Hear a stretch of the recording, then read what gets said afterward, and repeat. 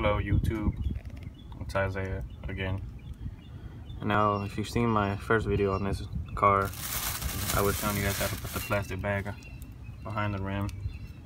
We're gonna do a retouch up on this part right here. But everything else came out pretty good.